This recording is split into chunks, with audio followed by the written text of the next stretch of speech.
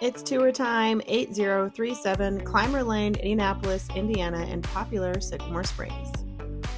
One of my favorite things about this tour is that it has a formal dining room, real wood floors, and probably 9 to 10 foot ceilings. Right off the front is this beautiful second bedroom with a true bathroom, giant open concept kitchen, granite countertops, probably 20 foot ceilings in here, and just look how much storage you have to offer.